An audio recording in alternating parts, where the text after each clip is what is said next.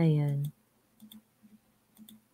Okay, anyway, ayan. Panoorin natin itong ano no, interview ni ni PBBM. Very very short interview and he was talking about yung ano no, yung uh, um issue sa presyo ng presyo ng uh, sibuyas, itlog at saka asukal. Ayan. Sorry.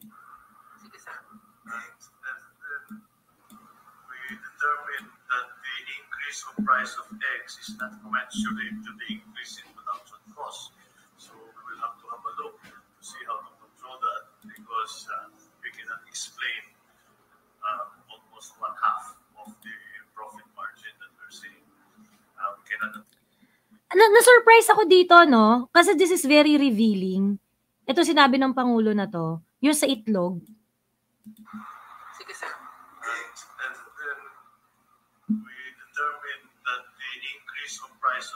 Is not commensurate to the increase in production cost.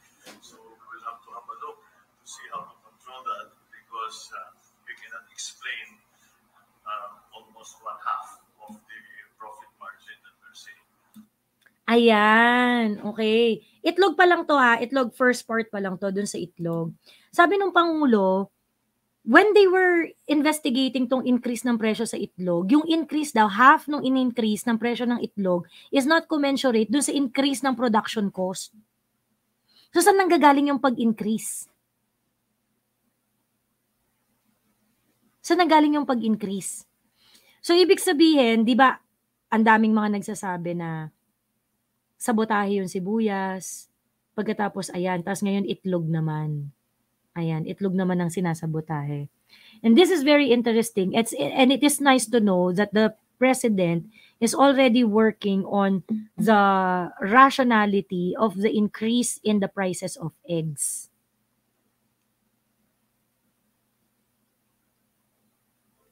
Ayun. So, I hope they would be able to achieve something here. Ah. Ito sinasabi ni PBBM. So, ayun, sa mga nagsasabing walang ginagawa, walang ginagawa. Ito na nga, oh. Actually, na-evaluate, mukhang mayroong mga tarantado talaga.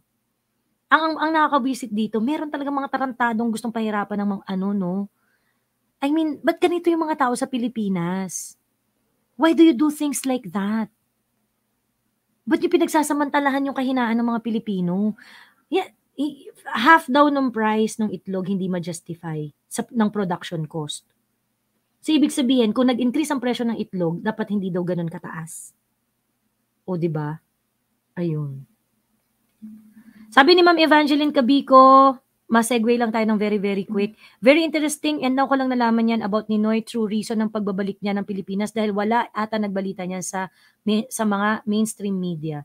Eh, hindi naman po kasi pinag-uusapan eh. Pinag-uusapan lang parati yung binaril siya. ba? Diba? Ayun. Balikan natin to.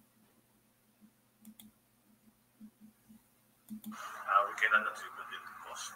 Uh, the, for uh, sa sugar, we are beginning to uh, rationalize uh, the buying schedule, the importation schedule so that we will match the crop year of the local producers of sugar. Para hindi naman tayo nagpapasok habang uh, mababa presyo uh, ng asukan. So, para mag-normalize naman yung, uh, yung uh, presyo. And, uh, uh, So pag pagdating sa asukal, ang sabi ng pangulo, ang ginagawa dito ay ginagawang mas rational ang importation schedule in order to not disrupt yung ano no, yung uh, im, yung local prices, especially no mga period na mababa ang presyo ng asukal. Hindi ka muna mag-import dapat, 'di ba? Kasi otherwise it will further ano no, decrease the the prices of sugar. Kawawa naman yung mga local manufacturers natin, tsaka local farmers natin ng asukal. Ayan. So yun. Uh, you know, things that are being done and a lot of people are saying walang walang ginagawa. Ayan. Tuloy natin.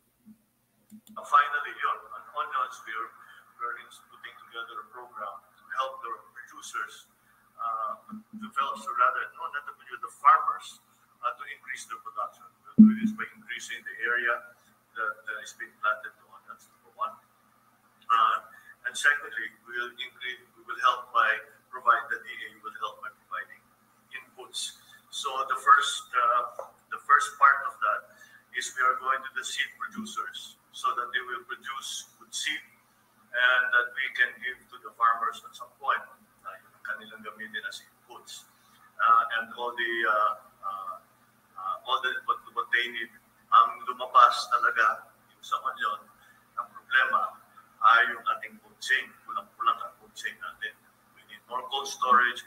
We need a better stronger food chain para ma-maintain naman natin ma-preserve naman natin yung uh, yung uh, agricultural products. So yun ang mga plano, yun ang mga ginawa namin mga immediate needs uh, dun sa dun sa ating uh, tuma nagtataasan ng presyo ng agri-products. Buffer stock? Buffer stock?